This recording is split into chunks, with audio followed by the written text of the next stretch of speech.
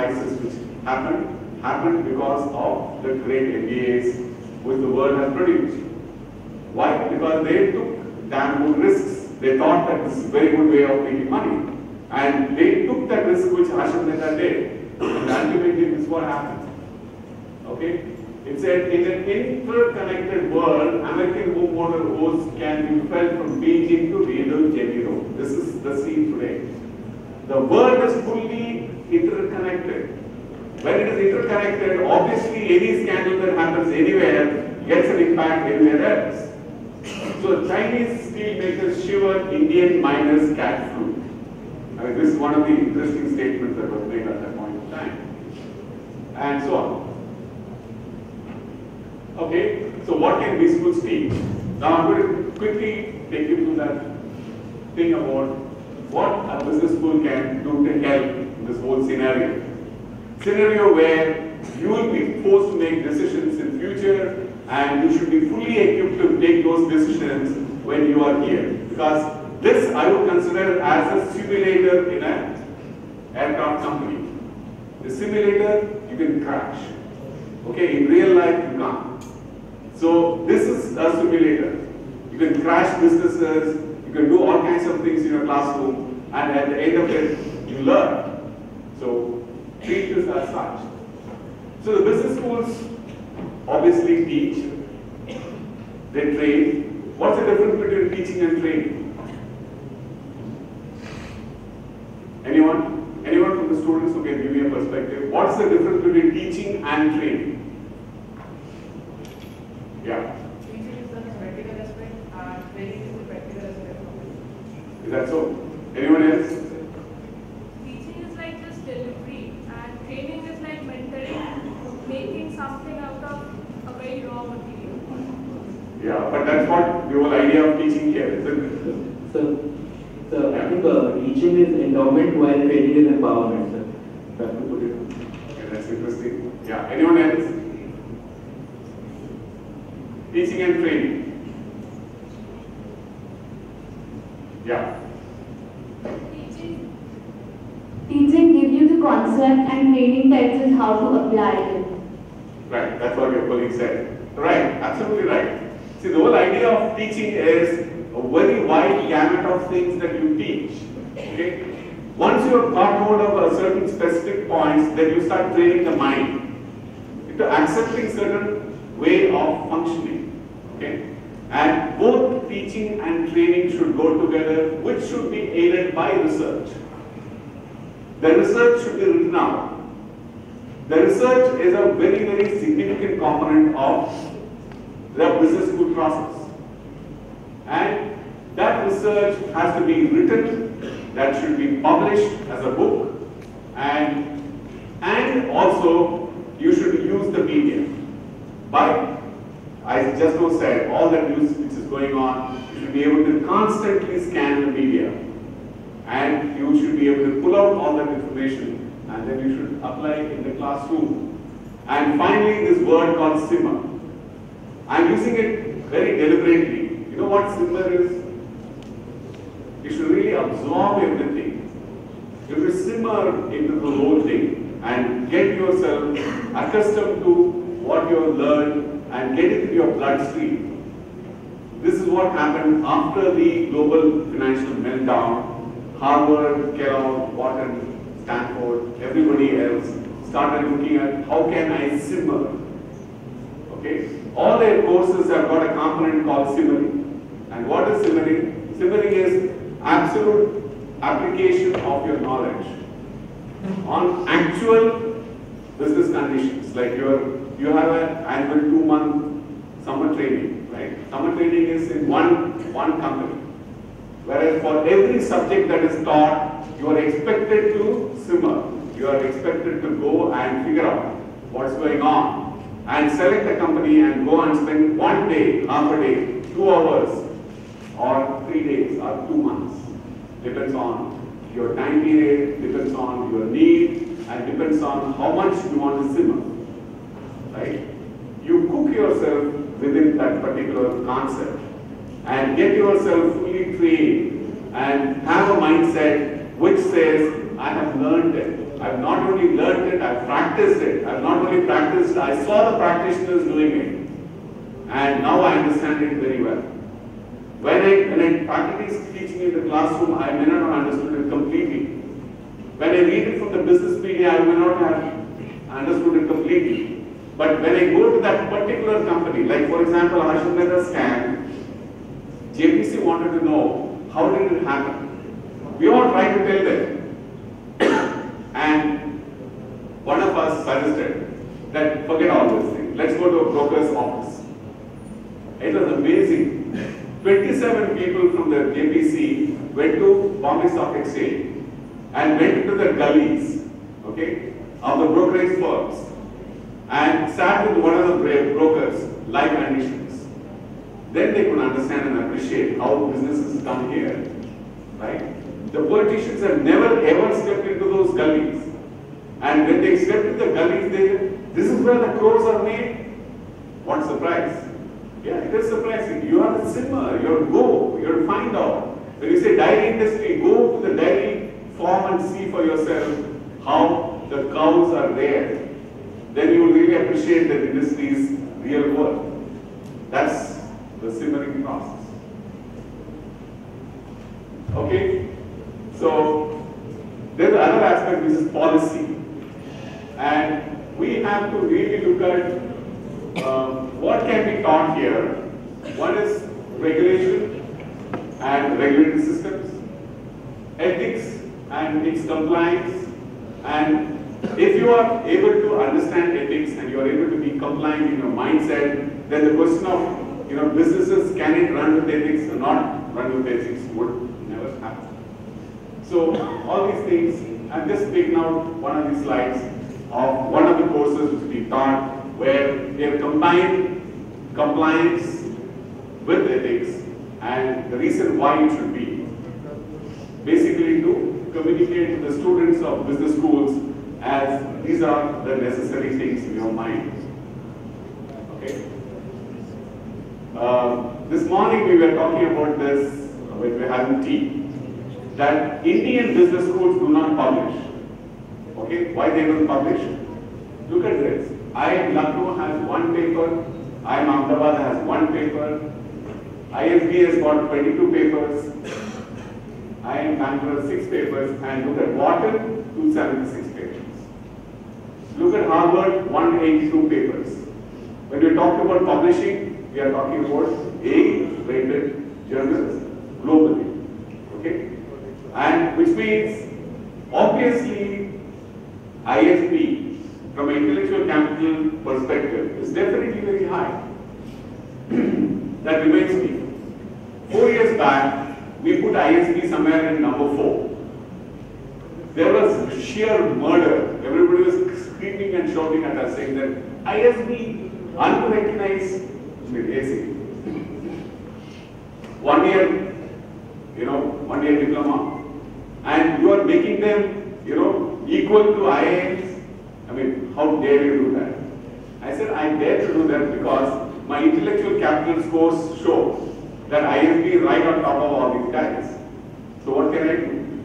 For me, I only go by scores which they are, they are marking. And ISB could do it because ISB has publications. Now, it's another story that these faculty who are publishing are actually international faculty, not any doctor, of course. But then it's true that they have the best of the faculty coming here. They are teaching them. And, and in the process, they are in a position to publish. I recall one of the professors of ISB telling me, saying that in Korea, one of the colleges in Korea, they had a conference like this. And in that conference, they announced two months or three months earlier that they, you know, they call for papers. And then this guy says, my paper was accepted, so therefore I was called. I went there to that conference. And I was shocked to see there are 2,600 people sitting in the audience. Can you ever you can imagine in India that India has got 4,000 business schools? Even if one faculty were to come, one faculty per business school, at least 2,000 people should be sitting in any of our national conferences. Have you ever seen any conference having more than 200 people or 300 people? Impossible. He says in Korean conference there were 3,000 people and of which 1,600 had come because they had submitted their papers. Okay? And this referee conference, I mean referee publishing, which means when you do referee, what does it mean? It means two people at least should blind, double blind referee. Two people should have seen your paper, right? And the editor. So 1600 into 2, that means voluntary, voluntary faculty for that specific subject have been 3200. It's unimaginable. AACSB today has got something like 6,000 faculty or volunteers from around the world who can go to various campuses to train. ACBSP today has got something close to 5,000 faculty who are trained from around the world who can go to different campuses to verify, vet, mentor, help people. So there is a lot of things happening around the world. So we people really learn. Learn from what's happening elsewhere in the world and how can we be part of this kind of a process in which we are able to produce papers. That's why I said research, publish, write. So Indian business faculty have to necessarily do this and how can they do it without the help of the students? And that's where the students also come in the picture. The students somehow have this feeling that here is a course, I need to be taught, there is an evaluation, I need to score. And with that, my job is over. Your job is not over because you are watching more of internet than your faculty is. Yes or no?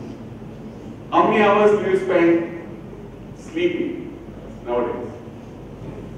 In this campus? Five hours? Four to five, five hours to six hours max, right? What do you do the rest of the time? You work. How do you work? So you spend a lot of time on the internet. What do you really do? I'm, I'm, I'm not for a moment saying that you guys spend time leisurely in Facebook, you are just exchanging birthday greetings and so on. I'm not talking about that at all. I'm saying all of you really do some serious reading. Serious, sense you track a lot of stuff, right? All I'm saying is that there should be a system. Do you use Moodle here? You use Moodle here, right? So how many of you really give a feedback to the faculty on what you have read? No, no, not about what they taught. What you have read, how many of you really engage your faculty in your reading? How many? See, none. All I want, want you to do is this. Moodle is a two-way street. You know that, I suppose, right? And you know that you are reading something. Whenever you are reading something, you feel that this is of interest to this faculty or that faculty, just direct that to them without your comments, which I am sure you can do. You guys can do much better job of helping the faculty as a teaching assistant than anybody else from outside. If the faculty's interest is to attend conferences, you should be able to have a conference blog. And some of you, five or six of you students can join together and track all the conferences around the world. It's not a big deal. Is it a big deal to track a conference? There are conference tracking sites are available. All you have to do is surf those sites, take out the relevant information, give to the faculty. So this is the best way in which proactively you can involve yourself in your own learning process. At the end of the day, if you help the faculty, is it the faculty who is going to get help or is it you? Ultimately, it's you, right? So this is what I'm saying, that in a B-school situation, these things can improve only when everybody is working together. Yeah, everybody is working together to see that you are able to get this whole thing moving. Okay? So we are in an era of knowledge. It's quite possible for you to do it. Very, very easy. We have all sorts of things which are there. You said something about socialism, capitalism, everything else is going. The only thing which is remaining is the great knowledge. Okay? So we know that the world will be reinvented as all available knowledge is now out. So reinvent the world. There's nothing new that you can do right now other than reinvent in the world. Okay? Thanks. Thank you.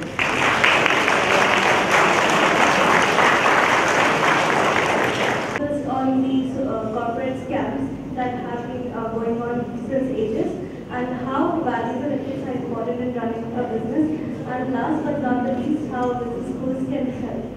Thank you. Thank you. Thank you. If uh, there are any questions, fine. I mean, do, do I get a five, number five, number ten, number thirty-two? I mean, how does it matter? Do I get an AACSB accreditation? Do I get an AMBA accreditation? How does it matter? Do I get an ISO nine thousand? You know, everybody else is talking about it, right? I am an ISO 9000. What, how does it matter to me? What matters is not about all these things, which could be fashionable, could be for any reason that you're going. People like me are interested that whatever you may do, you have to necessarily comply. There is a compliance aspect to all these systems. International accreditation systems have got a much better compliance standards. So in the process of doing it, you would have learned, you have grown. That's all I am interested in. I am not interested in anything else. I am not interested whether you get AACSB, whether you get AMBA, or whether you become ranked as number 10, number 5. It doesn't matter. What matters to me is, in the process of getting it, you would have worked very hard to get that. The goal is set already. Okay, and even for fashion, if you happen to go, you can't just get it just like that. It's not IAO accreditation. There is an organization called IAO, which is distributing accreditation across India. There are more than 200 people who are getting who have got it. You pay two thousand dollars. You get it. That's it. That's all you do. Yeah. Raise the question. And interesting that you mentioned ISO 9000. Because in the early 90s, when the European Union said that January 1st, 2000, 1991, uh, 92, I think it was, unless you're ISO 9000 you cannot sell by Western. That is how it came to the Indian in the conference. And I still remember, GVS Sundaram, if I remember correctly, was the first one. And they were all over the press. We were the first company to have ISO 9000. And now everybody has it. I still recall the consultants who told us about what whole thing is all about. In that ISO 9000 spec at that time, he says the word shall is used 114 times. Shall.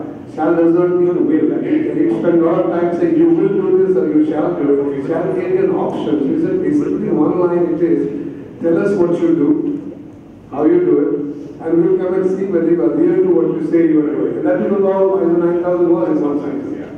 Uh, you say we do it this way, then you come and cross-check audit you and see whether you do it. I said the standards you comply, but that's right. No, what I'm basically saying is that the standards are set, whether it's ISO 9000, whether it's uh, international accreditation, ACC, anything for that matter. You also comply, okay? Whether out of fashion, whether out of compulsion, like EU has said, like for example, we have a deadline. We actually have a deadline. 2014 is the date before which Indian education system has to be freed. That's the WTO's uh, this thing, what you call system by which we have already given a commitment that by 2014 we will free our education system. The Washington Accord is hanging in balance for the last 14 years only because our education system is not free. And we have already made a commitment that, in fact, we got two years of extra time to comply with the Washington Accords, uh, you know, policy. They're saying that we should be having an accreditation system which is free from the government. Today we have two of the accreditation systems, both are government, whether you like it or not, NBA and NAAC. So we have to get out of that and we have to have our own independent accreditation system. The deadline is already coming here. So that's what I'm basically saying. Irrespective of what systems we adopt, if you are learning, if you are learning, it helps us in a big way. That's all I'm saying. I just have one more question for you. I don't know whether this is the right forum or I should ask you privately. Is AICTE going to be defunct or UGC going to be defunct? One of the two. Because a lot of talk has been going on lately that uh, AICTE has no, not supposed to have control over these schools or technical schools or whatever and so on and so forth. What is your take? Because sitting in Delhi, you're involved in these kinds of issues. Yeah, good question once again. It's, it's controversial, all right. But let me tell you something. once again, my take on this is very simple. AICTE, UGC came for a purpose. They stayed on it for a long period of time. To say that they should go, I think it's radical. Because we have too much of problems today that if they go, I don't know which new animal will come. I know this guy, I know this animal very well. Can I train it better? Can I make it work? Can I make it dance? I think that's much better. AICTE and UGC need reform. I need to work with them. I need to get them going. To say that AICTE should be closed down or A should be dismantled is a misnomer. Unless you come with another system, which is the reason why, let me also give you, share a small information with you. Uh, there is a PGDM and there is MBA. Now, MBA is the bulk and PGDM is the very, very percentage wise very small. It's about 10% of the total population is uh, PGDM. And yet, every big school is a PGDM school. Why it is a PGDM school and not an MBA school is because MBA schools are attached to universities. PGDM schools like yours are not attached to university, they are autonomous. So somewhere the freedom really matters. Oh. But while it is autonomous, it is also engaging with ASCPE and complying with ASCP rules. So we do have a system which is really helping. Now we are saying that AICTE should go, then what happens to PGDM? So what PGDM is now doing is that PGDM has, all of them have come together, they have formed an association, a new association for PGDM. I was part of the formation and this took place about a week back in Bangalore. We signed a MOU for forming this association. This association now will represent all the PGDM institutions and will also become a self-regulatory body. See, ultimately, eventually, when you become a self-regulatory body like CHEA, Council for Higher Education Accreditation of US, that's a self-regulatory body set up by the industry itself. Now, the PGDM association, if it becomes a self-regulatory body, then we can ask for AICTE to be dismantled and say that it is no longer serving us any purpose.